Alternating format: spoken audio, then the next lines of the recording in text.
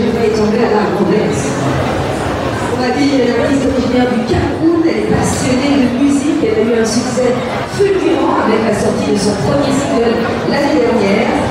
Le single s'appelle Ronquière, Ronquière, ça mélange coupé décalé. Et donc, la voici sur scène pour nous merci de faire un tonnerre d'applaudissements pour Natacha